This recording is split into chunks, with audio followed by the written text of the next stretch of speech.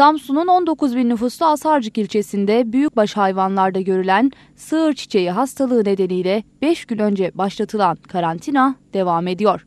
Samsun Gıda Tarım ve Hayvancılık İl Müdürü Kadir Güven, hastalık olduğu kesinleşen ve şüphelenilen 21 büyükbaş hayvanın itlaf edildiğini belirterek Asarcık ilçemizde 9, Vezirköprü ilçemizde bir şüpheli işletme var. Bu işletmelerde gerekli çalışmalar yapıldı. Şu an Asarcık ilçemizde karantina uygulaması devam ediyor. İlçeye büyükbaş ve küçükbaş hayvan giriş çıkışı yasaklanmış durumda. Bunun yanında Asarcık, Ladik, Havza, Kavak ve Vezirköprü başta olmak üzere il genelinde 21 bin civarında büyükbaş hayvan sığır çiçeği hastalığına karşı aşılandı.